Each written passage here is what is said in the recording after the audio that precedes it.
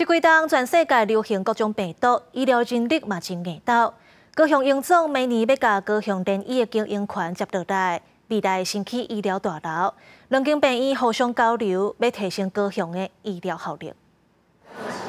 来到病院内底，看病民众未少的，这是每间病院的日常。这是高雄设立联合病院，因为是区域性病院，医疗人才有限，加上这几当市区人口增加，为了强化医疗效能，高雄营总每年接触人医的营运管理，两间公部病院合作，嘛加做全国头一个咧。人口增加，伊的医疗需求就会增加嘛。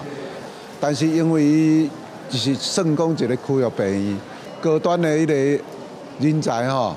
伊的来源哦，有受有有有受限呐。即摆合作毋那是全国第一个咧，高雄营总每年拍算伫高雄市二十三间卫生所来建立分段智慧门诊咨询的系统。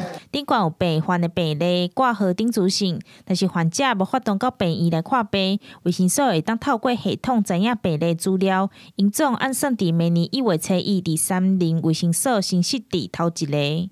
啊，阮的系统会当吼提供这。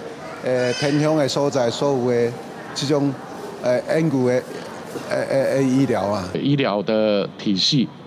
啊，可以从啊地方社区啊到医学中心啊，可以做啊垂直的整合。这摆两间病院合作，高雄营总院长表示，未来因应医疗需求，提供各科医生到联合病院替民众看病治疗。目前营总确定要伫十个年内，伫联合病院建立第二医疗大楼，将医疗资源扩大，服务更加侪民众。